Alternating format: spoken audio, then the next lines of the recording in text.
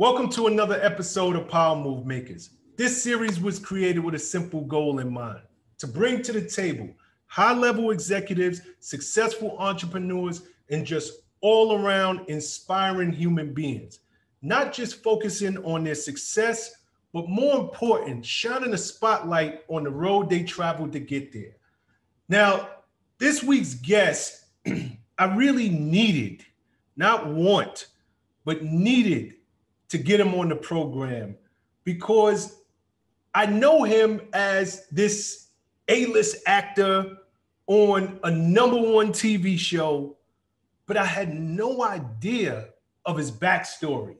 And the more I got to learn about who he is as a human being, the obstacles, the adversities, the challenges that he came through as a kid, and all of the service he's given to the country, to his people.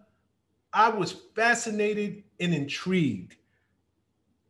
I'm excited to have this conversation, but it's just one of those conversations that I'm looking forward to because it makes me feel good as a human being.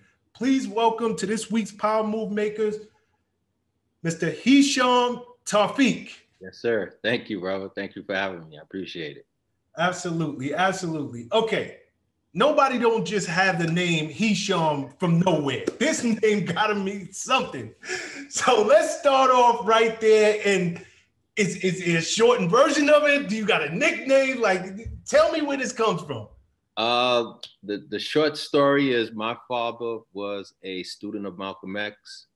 Um, my father then was inspired by Malcolm, received a scholarship from Malcolm, and went to Egypt, where he studied at Al Azhar University, converted to Islam, um, came back to Harlem, founded a mosque, had five boys. I'm the oldest, and my name is Hisham Tawfiq. Hisham means one who breaks bread, and Tawfiq uh, in Arabic means lucky or blessed.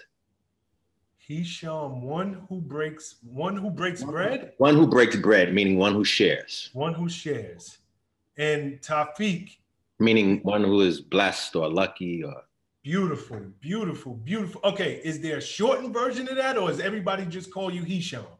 Um, for the most part everybody called me tawfiq. Um, I, would, say just because high school i was an athlete played football everybody calls you by your last name. So a lot of people, people just call me tawfiq or Fiq or you know that type. Most people call me tawfiq. Okay dope. You know before i get into your story you just said something that was crazy. Your father, did he study under Malcolm X? Like, did, did he actually know the man? Did he learn from him, or did he just study his teachings? No, no, no. He, he knew he knew Malcolm. He knew Betty. Actually, I know all of Malcolm's daughters. I know Gamilah. I, you know, he he um after Malcolm was assassinated, he kind of took over with teaching the daughters Arabic. I think in 1964 in Ebony magazine, if you look it up there's a picture of my father, Betty Shabazz, and the three girls sitting down while he's giving them an Arabic lesson. So he was good friends and a student of Malcolm. And when Malcolm came back from his studies in Egypt and really learning about um, Sunni Islam and Muslims, um, he had impressed the people in Egypt. So the um, dignitaries in Egypt said, "Hey, here's, here's four scholarships to give to your students." And my father was one of the students that got a scholarship, who then followed in Malcolm steps and went to Mecca and, and did the same studies. Oh, that's amazing. That is amazing. Um, coming up, did you did you understand the significance of this? Did you understand like no, my father unfortunately um, passed away when I was a senior in high school. So I didn't really learn about the history of his connection to Malcolm and Betty um, until later, later in my life. Got you. Did you ever have an uh, opportunity to meet Betty? No. I've, I've, I've, I know the daughters. I've met the daughters. I speak to the daughters, but I, I never met Betty or, or um, no. Okay. A lot of people are going to know you watching this off the bat. Blacklist, Dembe. On the show, your character is African, I'm assuming. Mm-hmm. You have straight up African features. You are a, a handsome black man. In real life, are you African or are you just African American? Um, um, you know, I'm I'm African American. My mother's from Savannah, Georgia, from the Geechee lands, and we, if you do your history, we know that a lot of um, enslaved uh, Africans came in through uh, uh, South Carolina and the ports in, in the Geechee Geechee Islands. Uh, my mother is my complexion, same features. Um, so of course, my father did research, and I've done research. So we've tied my my ancestors back to Kush and Ghana and, and places like that. Um, but I, I, guess I attribute my strong features to to my mother and my father, but specifically on my mother's side, um, down there in Savannah, Georgia, where you know a lot of our people came through. Wow, how about that? Uh, you, you, you. I know you mentioned that your dad passed. Your mom, she passed early in your life as well, correct? Yeah, my my mother was a victim of uh, gun violence when I was four years old. Okay, it, it, was her, I guess, killer ever brought to justice? Did you ever get any of the backstory? No, I, I honestly was told that she died in a car crash all my life, and it wasn't until I needed her death certificate to fill out my application for college that I saw in the death, death certificate that she died from multiple gunshots. Um, and then that's when I started digging and, and found out that she had some sisters in Savannah, Georgia, and I connected with that family and found out that she was, uh, well, I knew, yeah, that's when I found out that, you know, she was, was murdered and it was never solved. Oh, sorry to hear that, brother. My condolences. Thank you. How does, you've achieved a high level of success in your life uh, and when I say success, I don't just mean it monetarily. Uh, I think that success comes in all different ways, just in terms of happiness, uh, in terms of service. You seem to be a very well rounded and successful gentleman.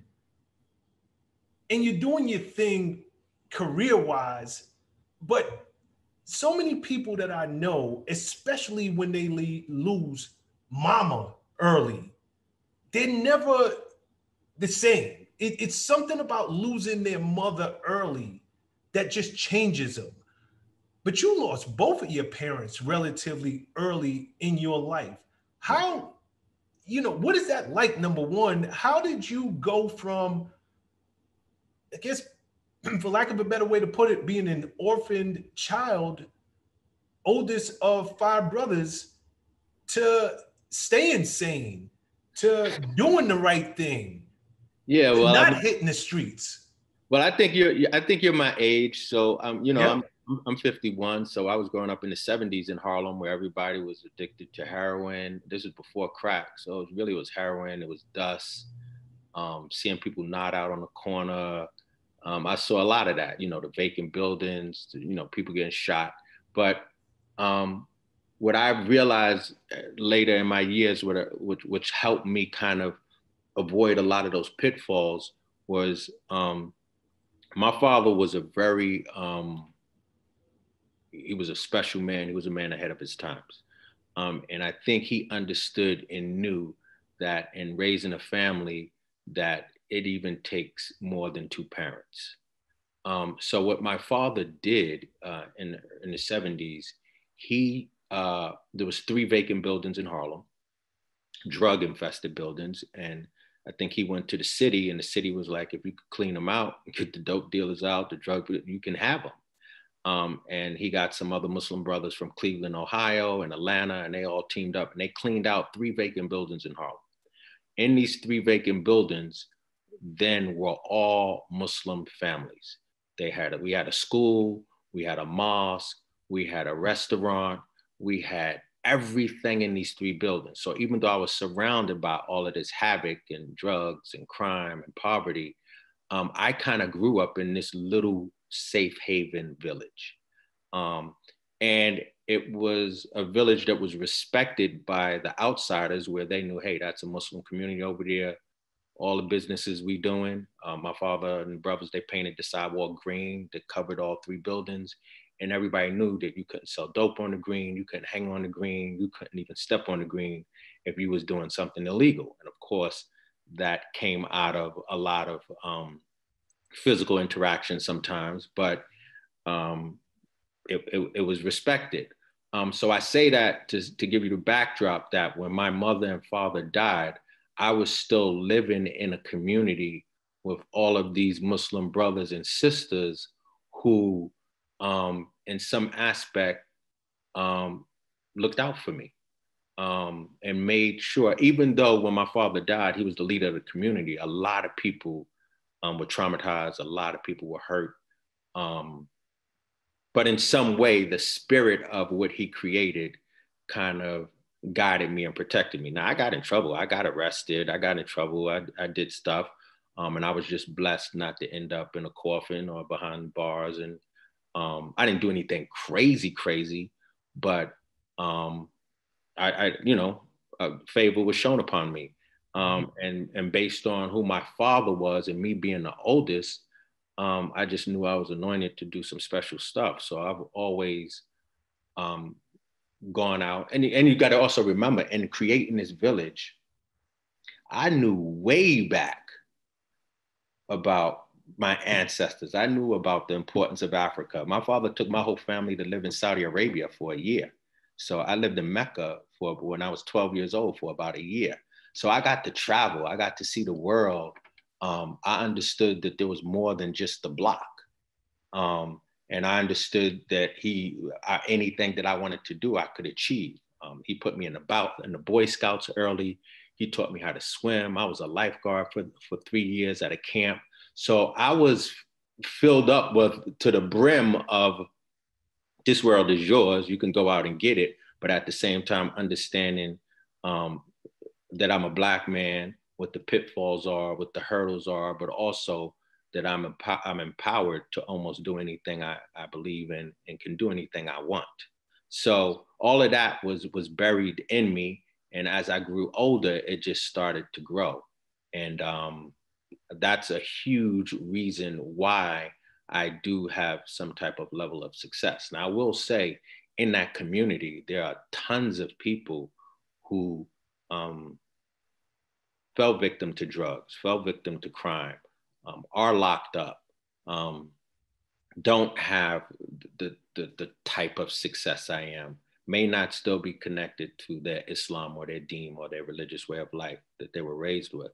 But um, I'm one of the person who who who came out of that that that that fire and you know I'm I'm I'm just trying to make the best out of it. What's up guys? Thanks for sticking with me to the end of the video. Truly appreciate you. If you like anything you heard here today, go ahead and hit that subscribe button. And if you know anybody that can benefit from this message, feel free to share. Peace and love. Make every move a power move, and I'll catch you all on the next video.